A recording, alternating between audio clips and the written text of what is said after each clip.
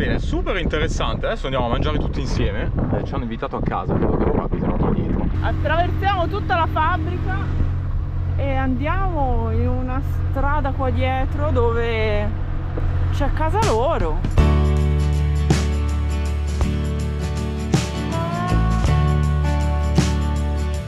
Ma non vi abbiamo detto un'altra cosa. Dopo l'ottimo pranzo ci hanno detto che qua hanno anche un'officina meccanica perché ovviamente loro hanno anche i camion che trasportano la legna e quindi devono essere attrezzati per qualsiasi evenienza perché questi camion dal nord del Ghana fino a qua al sud si possono rompere pezzi ovunque. E quindi hanno l'officina e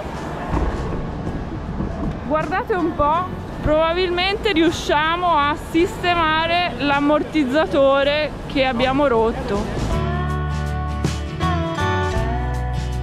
Abbiamo mangiato un piatto di pasta ma ci siamo messi subito poi al lavoro perché mi hanno detto che qua avevano questa officina e quindi naturalmente ne approfittiamo. Cioè hanno tutto, torni, frese, cioè, possono, perché riparano i loro macchinari anche i caterpillar con cui vanno nel bosco a fare i lavori con gli alberi.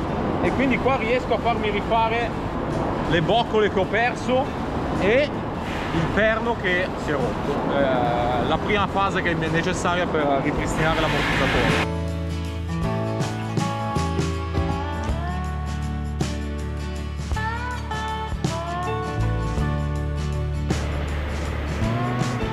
Adesso che ha fatto il perno procede alla filettatura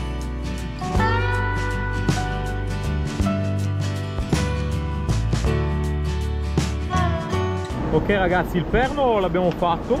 Adesso bisogna rifare due boccole perché me ne sono perse. È bellissimo vedere come man mano i pezzi prendono forma.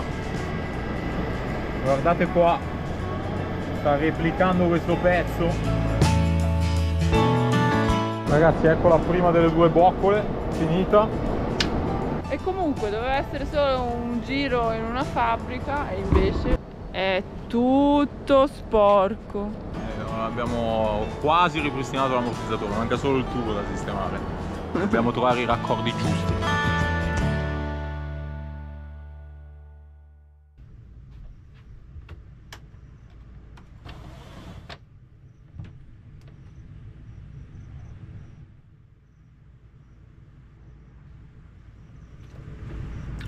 Buongiorno equipaggio, bentornati a bordo e bentornati qui in Ghana.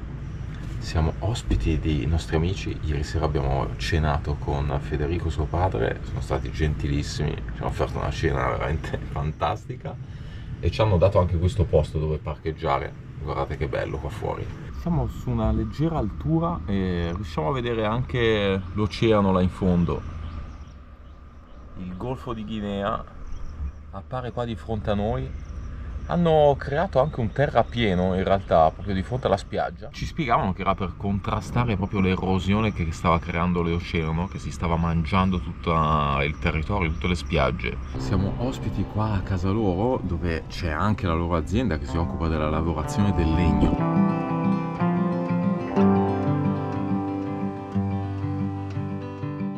sera ci eravamo messi a favore di vento dell'oceano per uh, godere un pochettino della frescura dell'aria che arriva dall'oceano. Eh, non è che sia durata tantissimo perché poi a un certo punto ha smesso, però meglio che niente. Comunque continua a fare molto caldo e molto molto umido. E eh, vabbè, ma se è la frecca che dobbiamo fare. Non abbiamo ancora ben capito i programmi della giornata eh, perché ci hanno detto che qui vicino c'è una cosa che potrebbe essere interessante vedere e magari questa mattina ci andiamo. Però appunto oggi credo che proprio i programmi li faremo strada facendo. Ragazzi questa mattina iniziamo la giornata in un modo un po' diverso. Eh, ieri abbiamo iniziato a sistemare il nostro ammortizzatore ma mi manca il tubo andremo con i ragazzi eh, ci faranno portare credo eh, in un posto dove forse possiamo trovare il modo di rifarlo. Bene il tubo l'abbiamo smontato. Eh, da una parte abbiamo un banjo semplice un raccordo abbastanza standard questo non credo si faccia difficoltà a trovarlo. Eh, quell'altro non lo so perché è mobile ad innesto eh, vediamo non, non, ho idea se, se ce lo possono avere qua. Proviamo.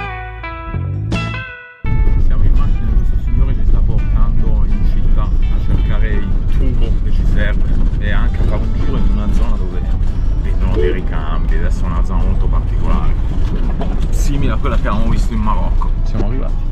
C'è un quartiere con un sacco di attività commerciali.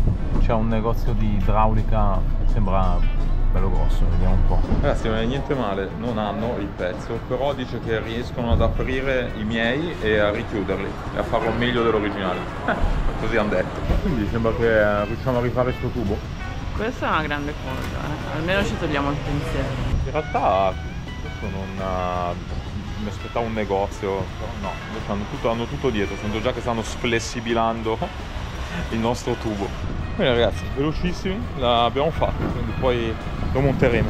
Elvis ci sta dicendo che adesso ci troviamo in questa zona del mercato che è proprio in centro a Takoradi e tutte le strade portano a questo mercato e dice che è l'unico mercato nell'Africa dell'Ovest ad essere fatto in questo modo.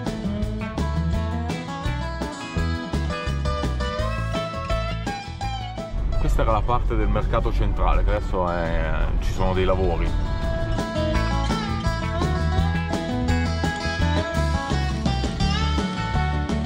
Ci siamo fermati un attimo perché qua si dovrebbe avere una vista privilegiata sul porto di Taporadi che è veramente grande.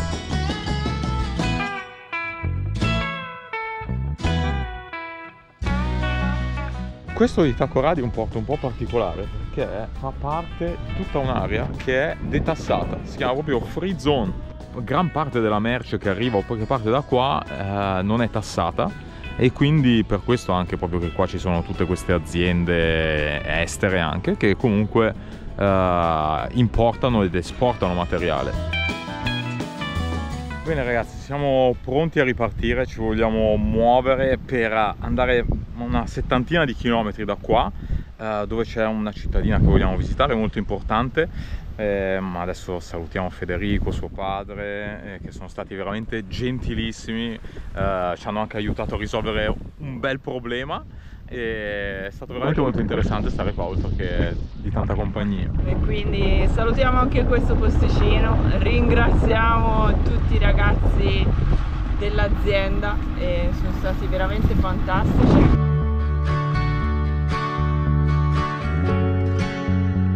Ok stiamo provando a caricare l'acqua.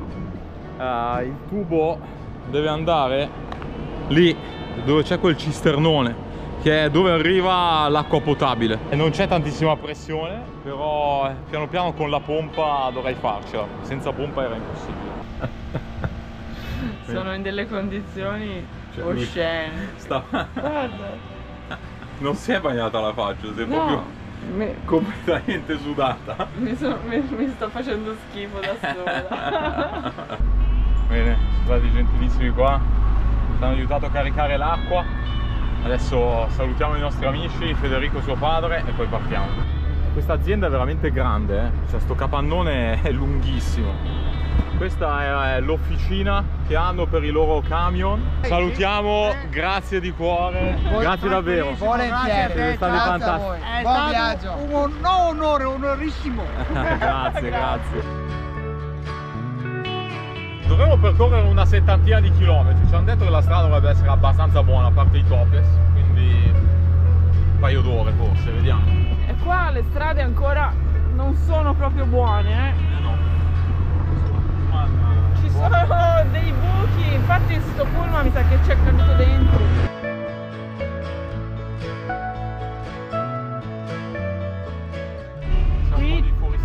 c'è una voragine, guardate il camion, ci, è sprofondato dentro. Eh, da Takoradi siamo usciti, però è un susseguirsi di piccoli paesi. Abbiamo detto, la densità della popolazione qua è elevata e quindi eh, sei costantemente, insomma, tra paesi e mercati.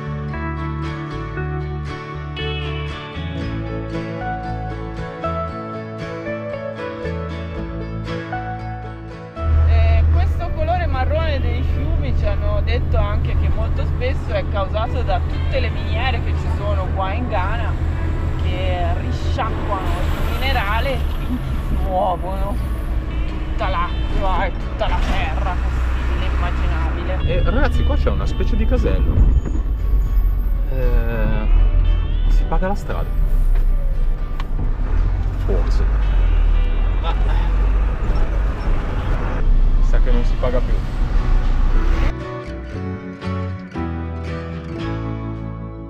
No, thank you, I have buy this. Thank you, thank you. Allora, abbiamo comprato 4 ananas, ma Neanche un euro. Sì. Ovviamente li portano sulla testa. ah, 6,30. 6,30 uh, 2,50 euro una cosa del genere. Sì 2,50 euro no che dico 2 euro poco più di 2 euro. Ma alla fine siamo quasi arrivati. Abbiamo lasciato la strada principale e stiamo andando in direzione di una fortezza che si trova qua sulla costa. Costa che veniva chiamata la costa d'oro. Dai portoghesi, dagli olandesi, dagli inglesi qua sono venuti principalmente per portare via appunto l'oro. E i portoghesi hanno costruito una fortezza che si trova proprio qua. E pensate risale al 1490 è veramente antica. Ed eccoci qua sulla costa. Ora dobbiamo vedere se troviamo dove fermarci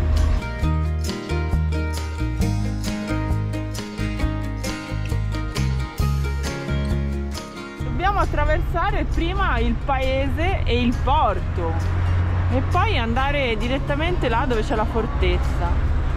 Ma guardate quanti ristorantini qua, proprio sul mare.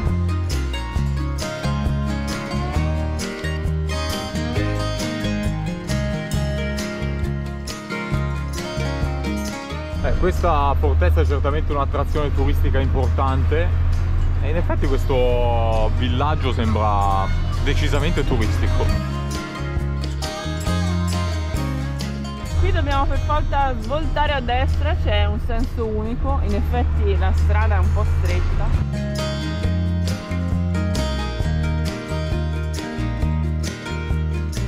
Eccola là la fortezza dei portoghesi. E qua dietro c'è il fish market, ragazzi.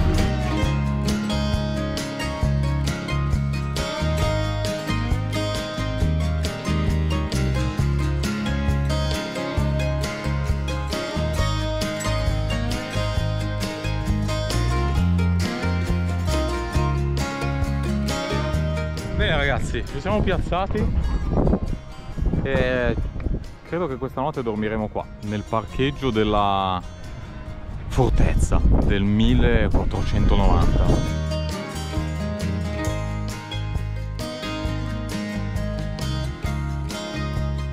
Questo è il castello di San Giorgio, San George Castle, che appunto è stato edificato dai portoghesi. Sembra bello grande, quindi noi ci andremo domani mattina con tutta calma. Adesso magari ci facciamo due passi qua. Qui ragazzi mi sa che stanno partendo i pescatori. E qua il mercato è anche sotto il ponte. Questo è quello che abbiamo fatto con Valentino.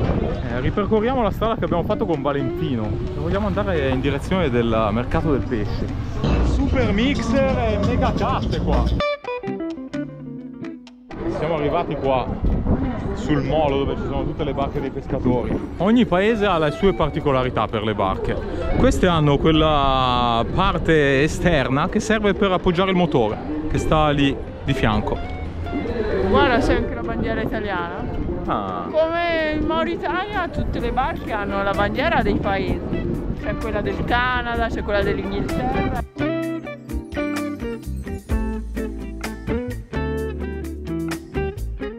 Anche qua facciamo un po' fatica a capire cosa vendono. Ci sono anche delle frittelle.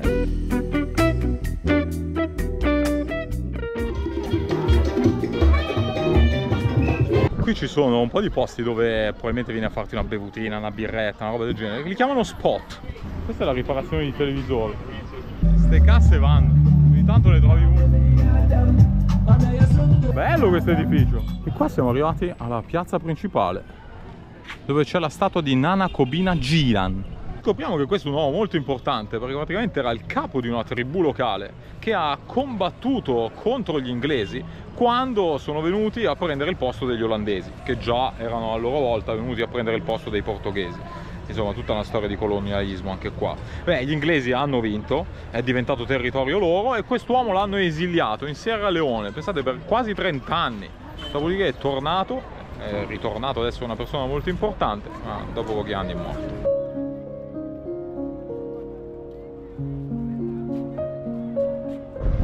La nostra casa è là, solitaria, tra le palme, in mezzo al parcheggio.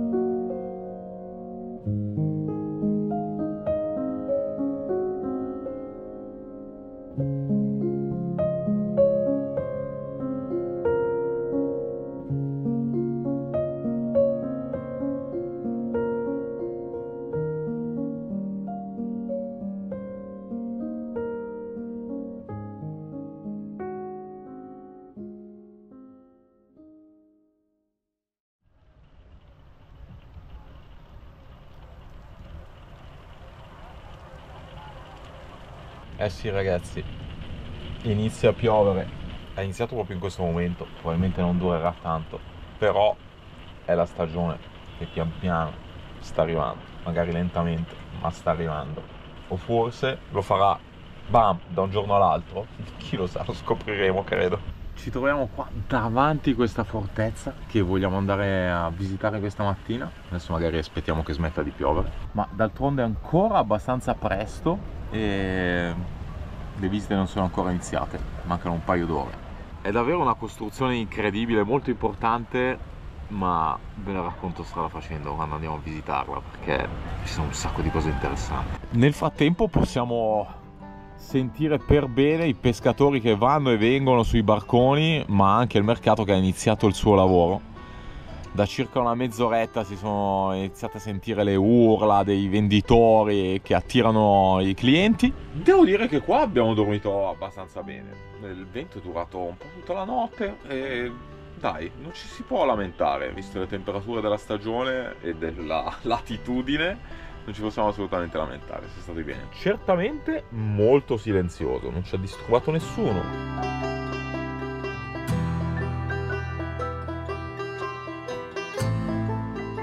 Bene, prepariamoci per questa visita questa fortezza che è veramente molto importante, ma che racconta una storia di colonialismo, ma anche inerente alla schiavitù. La fortezza è veramente imponente ed è stata costruita nel 1490. Pensate che è stata costruita molto velocemente perché di fatto è un prefabbricato.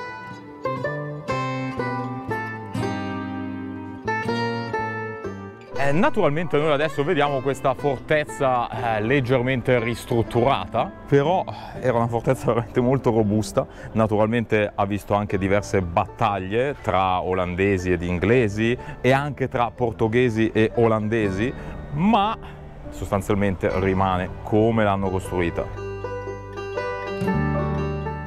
I portoghesi sono arrivati su queste coste intorno al 1470 e qui hanno trovato un sacco di tribù, ma la cosa più importante che hanno trovato è un corridoio di commercio, corridoio che trasportava sostanzialmente oro, al quale i portoghesi erano veramente molto interessati. Era un corridoio sicuro, lontano dai paesi musulmani. Per questo nel 1490 hanno deciso di costruire questa fortezza, di fatto per proteggere questo corridoio che per loro era molto importante e molto proficuo. Qui ci troviamo ad Elmina e questa fortezza di fatto ha preso anche questo nome.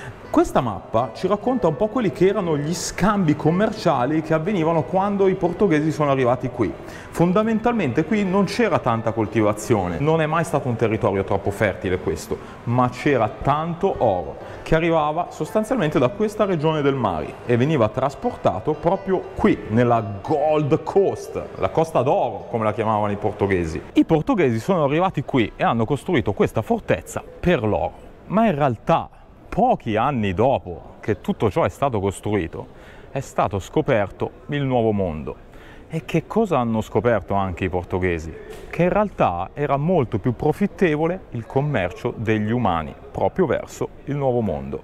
E quindi hanno trasformato sostanzialmente il business di questa fortezza dall'oro agli schiavi. E direi che possiamo proprio iniziare da qui, da questo corridoio che ci porta nel luogo in cui erano detenute le donne Questo corridoio strettissimo naturalmente era già presente quando i portoghesi hanno costruito la fortezza. Inizialmente il luogo che stiamo per raggiungere era sostanzialmente un deposito. Vi faccio notare subito una cosa, qui vedete dei mattoni rossi, mentre qui vedete dei mattoni gialli, ma non solo. Qui ci sono delle rocce che sono molto più scure. Questi tre differenti materiali sono quelli con cui è stata costruita questa fortezza, ma i mattoni rossi sono stati portati dai portoghesi perché, come vi ho detto all'inizio, questa fortezza era di fatto un prefabbricato. Tutti i materiali sono stati portati dall'Europa. Quando poi sono arrivati gli olandesi, hanno preso il posto dei portoghesi, hanno dovuto ricostruire un po' di parti della fortezza, anche perché durante la battaglia si erano distrutte, e hanno usato i loro mattoni gialli. Mentre queste pietre più scure sono quelle delle fondamenta e sono pietre che sono state recuperate proprio qui in Ghana. Qui ci troviamo in una zona molto significativa perché è quella dove ci sono le celle dove erano detenute le donne. Sono tre celle differenti con una capienza che va dalle 120 alle 150 persone. In totale in questa area quindi erano detenute 400 donne. Entro dentro questa che è la cella da 120 detenute. Vedete che è veramente piccolissima ma la grande particolarità qual è? Che adesso noi siamo entrati da una porta e questa porta naturalmente veniva chiusa, sprangata, tutta di legno, quindi l'unico passaggio d'aria che c'era qui era quello dato da queste finestre. Pensate 120-130 persone chiuse qua dentro eh, che avevano pochissima aria a disposizione. Ma non solo, vedete che non ci sono bagni, non ci sono stanze dove andare a fare i propri bisogni, quindi tutto veniva fatto per terra, dove dovevano vivere anche queste persone che pensate stavano qui due, tre mesi prima di essere trasportate verso una nuova destinazione che loro naturalmente non sapevano. Qui siamo entrati dentro un'altra di queste stanze che ha sostanzialmente due finestre che servono per la reazione e per un minimo di illuminazione e una porta che veniva sprangata. Questa è la stanza più grande e qua parliamo di 150 persone. Quello dove stiamo camminando è il pavimento originale. La cosa incredibile di questa fortezza è che è molto preservata, cioè non è stato fatto più di tanto per mantenerla come la vediamo oggi. E era effettivamente molto robusta e questo è quindi il pavimento dove dormivano queste donne. Qui vedete che c'è una piccola finestra e pensate che dentro questa stanza c'era il deposito delle armi e da questa finestra molto spesso i militari che proteggevano questa fortezza sparavano a chi magari stava in questa stanza e si ribellava. Naturalmente i militari non potevano entrare qua dentro perché sarebbero stati probabilmente massacrati, erano persone che stavano strettissime e quindi dovevano far sentire la loro forza da fuori con le armi questo modo sparavano da quella finestra. Questa è la stanza più piccola e come vedete ci sono anche questi stracci che sono buttati in terra, che sono la rappresentazione dei pochi indumenti, quando c'erano, che erano a disposizione delle donne che vivevano qui, ma principalmente stavano nude. Qui gli esseri umani venivano trattati peggio che gli animali. Luci adesso prende in mano, o prova, a prendere una di queste che sono le sbarre originali. Originali di questa prigione, che naturalmente con il tempo ogni tanto venivano cambiate. Eh, questo perché principalmente eh, si arrugginivano, si consumavano e quindi questa è l'unica manutenzione che veniva fatta.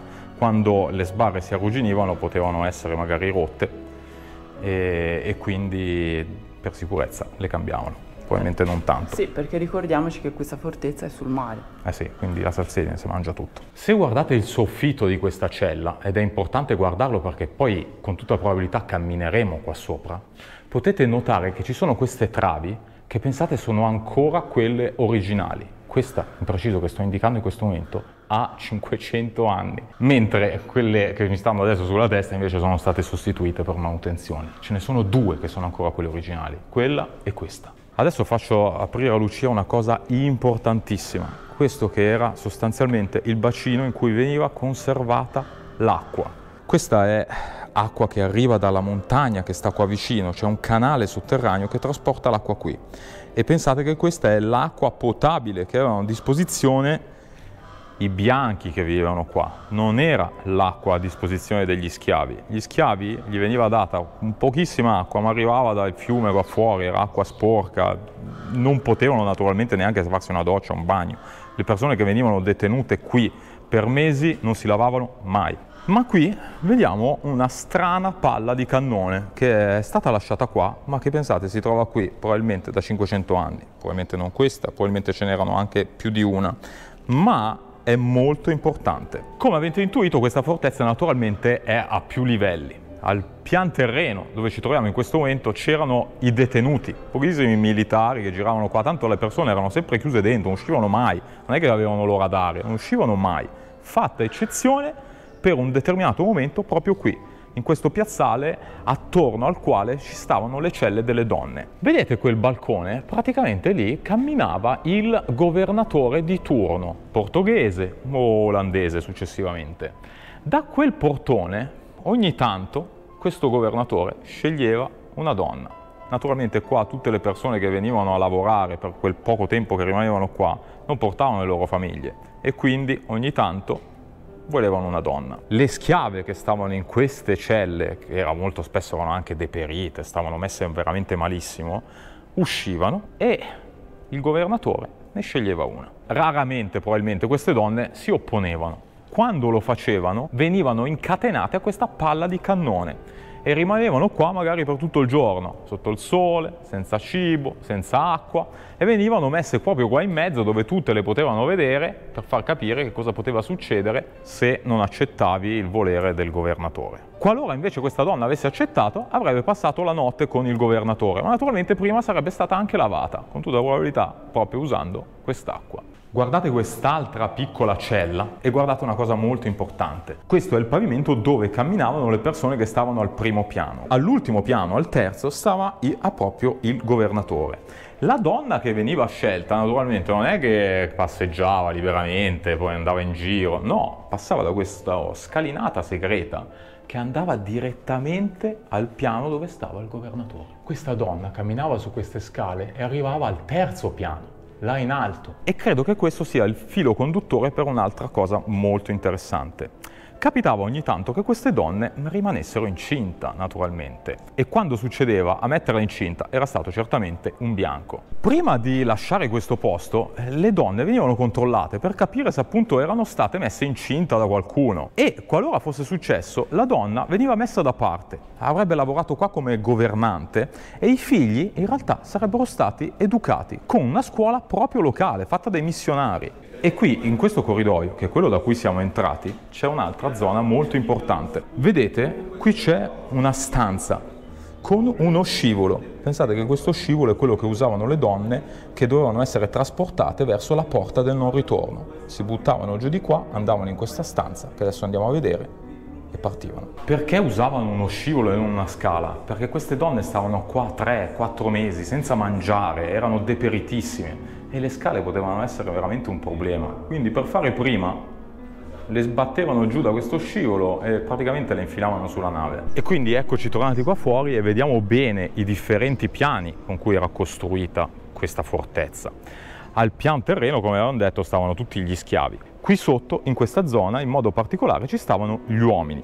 Pensate fino a 600 persone adesso lo vediamo bene dove stavano. Al primo piano di questo lato c'erano i mercanti, i mercanti di schiavi, quelli che li portavano qui e quelli che poi li commerciavano con i paesi in cui dovevano andare, le Americhe oppure l'Europa. In questo lato abbiamo al primo piano tutti i militari, quelli che stavano qui per proteggere la fortezza. Al secondo piano avevamo politici e militari, mentre all'ultimo piano, quello più grande che vedremo, c'era il governatore. E questa pensate che è una delle celle dove stavano invece gli uomini. Come vedete in realtà qui di illuminazione e di areazione ce n'era ancora meno rispetto nelle celle delle donne. La reazione pensate era data solamente da questa finestra, ma forse la cosa più incredibile e drammatica che possiamo vedere qua è questo buco, quello che sta qua sopra la mia testa. E pensate è il buco da dove veniva passato il cibo. Pensate 120-150 persone qua dentro,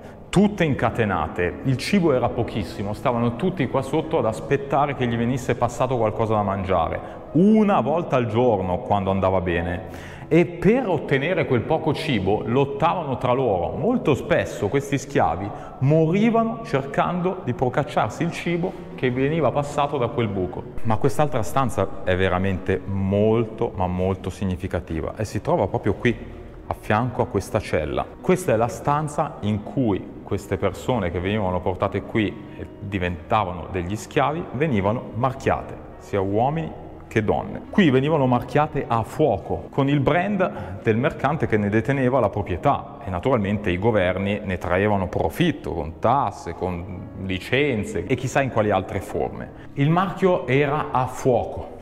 Pam! E pensate che era talmente drammatico e talmente dolorosa questa pratica che molte delle donne soprattutto morivano di shock appena venivano marchiate. Ma adesso camminiamo in fondo a questa cella e raggiungiamo questa porta che è veramente scurissima. E questa è la porta verso la stanza del non ritorno. Voi vedete solo la finestra, ma di fatto qua davanti a me c'è anche lo scivolo, è quello che vi ho fatto venire prima, da cui venivano calate le donne. Donne e uomini passavano attraverso questo buio corridoio ed arrivavano qui, in questa stanza e la luce che mi sta illuminando arriva da quella che veniva chiamata la porta del non ritorno. Questa era la stanza del non ritorno. Donne e uomini attraversavano questo corridoio probabilmente insieme, ma naturalmente non si potevano parlare e pensate che molto spesso erano familiari. Qualora avessero parlato sarebbero stati uccisi al momento.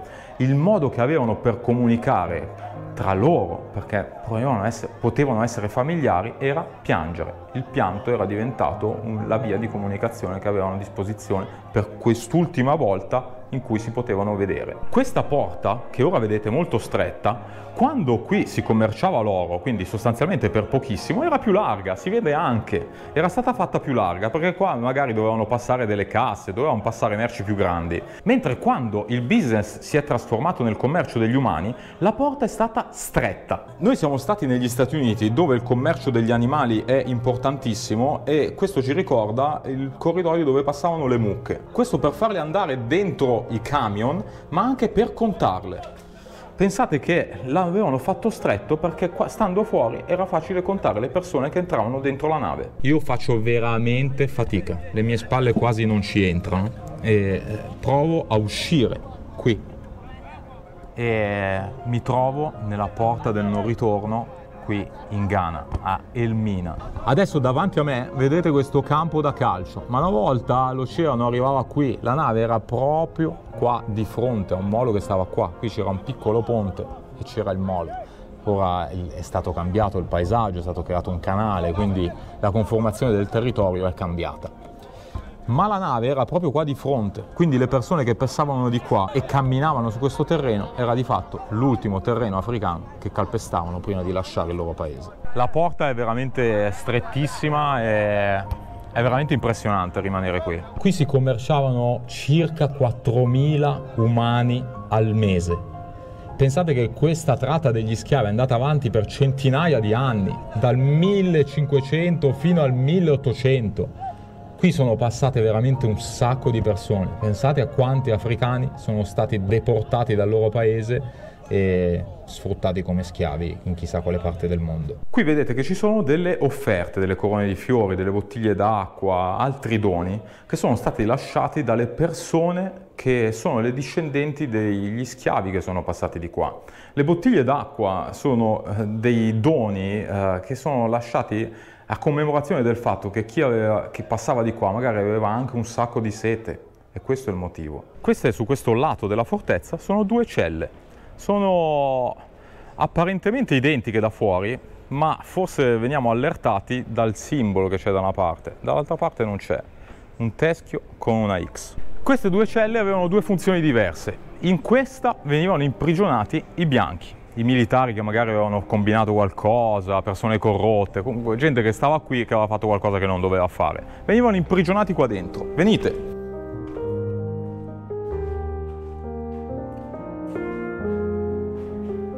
Qua dentro troviamo una cella piccola, angusta, quello che volete, ma vedete che c'è una finestra, c'è un'altra finestra lì, sono ben illuminato e sento anche un po' di brezza arrivare. Lucia mi chiude dentro, mi fa capire un po' quello che si percepisce a essere chiusi dentro questa cella. Sembra un po' come essere messi dentro una cella di Alcatraz. Però effettivamente sento un po' di sollievo dall'aria, dalla luce. Qui le persone che venivano imprigionate ci stavano un giorno, dopodiché venivano rilasciate, insomma avevano capito la lezione. Ma questa era la cella dove venivano detenuti i neri, gli schiavi che per qualche motivo si ribellavano e facevano una brutta fine qua dentro.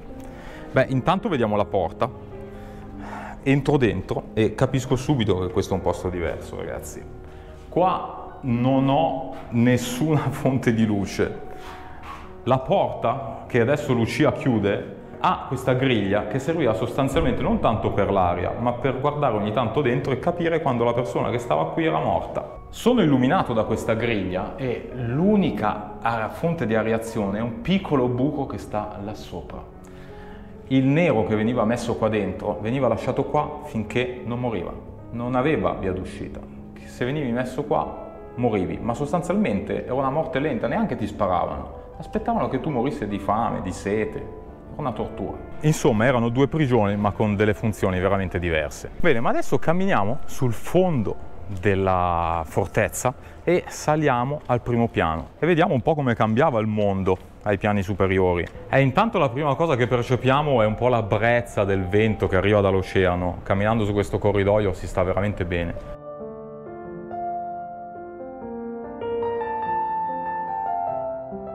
Qua ci troviamo al primo piano, quello dove da un lato c'erano i mercanti di schiavi e dall'altro i militari che lavoravano qua per proteggere la loro fortezza, per svolgere la funzione militare vera e propria. È una fortezza con una pianta classica, quindi con eh, punti di vista su tutti i lati, che era effettivamente posta in un punto molto privilegiato qua sulla Costa d'Oro. Ma camminiamo per andare verso il fondo e raggiungere i piani superiori.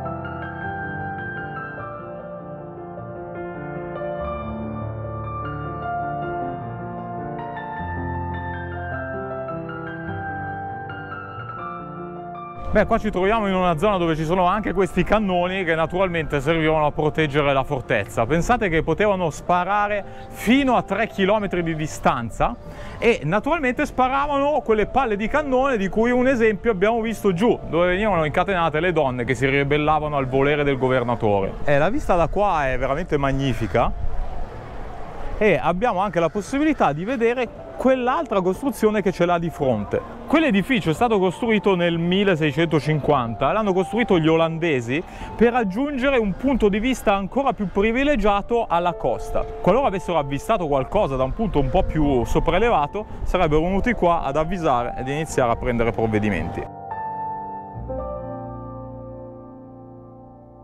Ed eccoci qua, a camminare sui piani superiori. Questo è il pavimento sotto il quale c'erano le celle degli uomini, delle donne. Quindi le persone che camminavano qua, di fatto camminavano sopra i propri detenuti, sopra i propri schiavi. Questa è una stanza molto grande, molto arieggiata, è grande come una cella dove ci stavano 150 persone e qui invece in realtà ci stavano un po' di militari a mangiare. Questa era la loro sala da pranzo. E comunque, insomma, il numero di militari certamente non era basso, la densità non era certo quella di una cella. E qui c'è questa bellissima scala che ci dà accesso all'ultimo piano, quello dove stava il governatore. Andiamo a vedere. Cammino, questa scala di legno, veramente privilegiata, e ci dà accesso innanzitutto a questa stanza con tre finestre. E questo era un salotto dove il governatore passava un po' del suo tempo. Aveva anche lui una bella vista sull'oceano, naturalmente, e anche su Valentino in questo momento.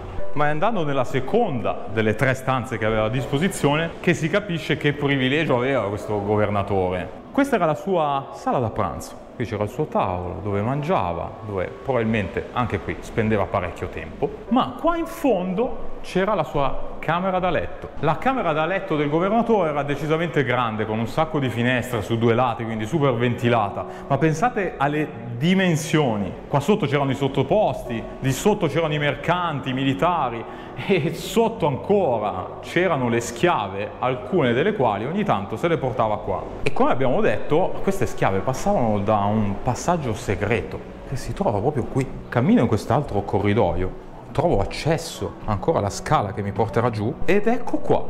Vedete questa botola?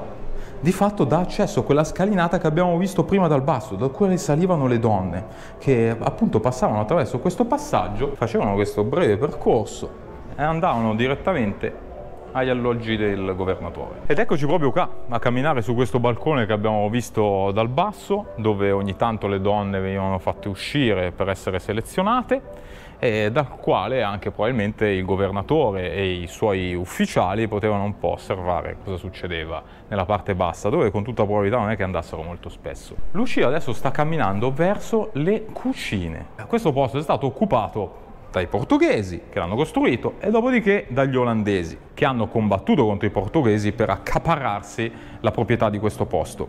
E questa era la cucina che è stata costruita proprio dagli olandesi. Eh sì, c'erano due cucine. Questa che sta in quest'altra stanza è la cucina che avevano costruito originariamente i portoghesi. Quando sono arrivati gli olandesi, naturalmente non si fidavano di niente, quindi avevano costruito una cucina apposta per non usare quella che avevano lasciato i portoghesi. In realtà poi quando qui sono arrivati gli inglesi diversi anni dopo hanno usato tutte e due le cucine. Naturalmente qui, oltre a tutto il tema degli schiavi, ci sono state anche delle guerre per accaparrarsi la proprietà di questo importante posto.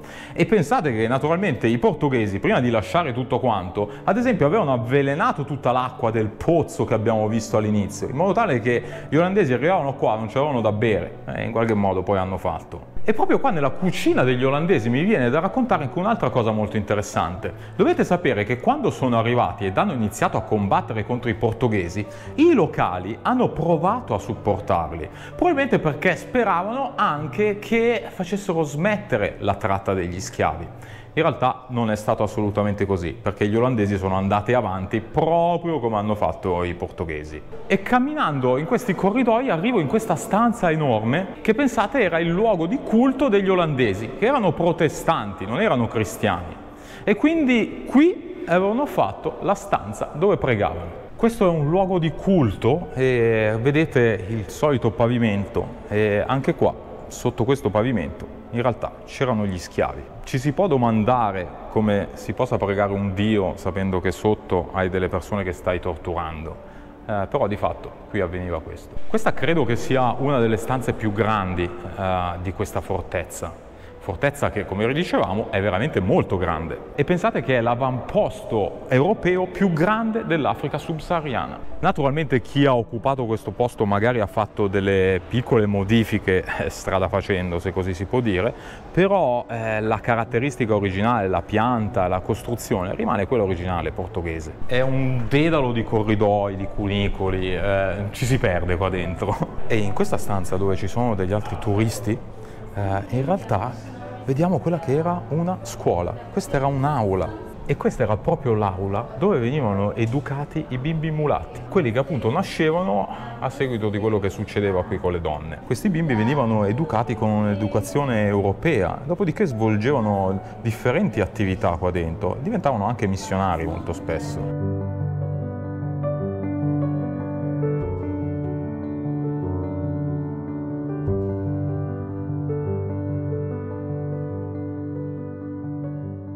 Concludo con una cosa molto importante. Pensate che gli schiavi che venivano detenuti qua e che venivano preparati per essere portati in chissà quale parte del mondo non erano ghanesi. Tutte le persone che venivano incarcerate incatenate in realtà arrivavano dai paesi circostanti, Nigeria, Togo, Benin, Costa d'Avorio, e a portarli qua erano proprio i mercanti stessi, quelli che abitavano qui e che avevano accordi con i governi, portoghesi o olandesi insomma tutti ci guadagnavano. Il marchio che veniva messo, di cui abbiamo parlato prima, era quello del mercante, ma naturalmente questo marchio, così doloroso, una volta arrivati a destinazione, veniva rimesso, perché noi siamo stati negli Stati Uniti e abbiamo visto che là a loro volta c'erano altri mercanti, a cui questi mercanti li vendevano e quindi era tutto un marchio sopra marchio. Quella invece è la chiesa che avevano costruito i portoghesi, che in realtà poi quando sono arrivati gli olandesi hanno smantellato l'hanno utilizzata per altre cose. Quando poi sul finire di tutta questa storia degli schiavi, in realtà qua sono arrivati gli inglesi, hanno fatto di questo edificio tutt'altro scopo, hanno fatto una sede governativa e ci hanno fatto anche una scuola. Qui venivano a fare anche attività fisica. Ad esempio vedete in quel robustimento della parete hanno messo quei pali e servivano per arrampicarsi, per fare un po' di training alle forze di polizia britanniche in questo caso.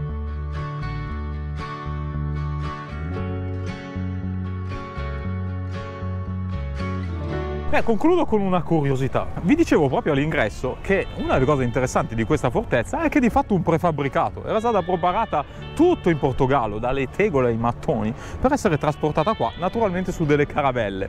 Pare, non è certo, che su una di queste caravelle ci fosse anche Colombo, che poi sarebbe andato a scoprire le Americhe, ma poi eh, di fatto avrebbe anche dato inizio a tutta la tratta degli schiavi, se vogliamo, visto che abbiamo capito che scoperte le Americhe hanno capito che forse il business migliore era vendere gli schiavi.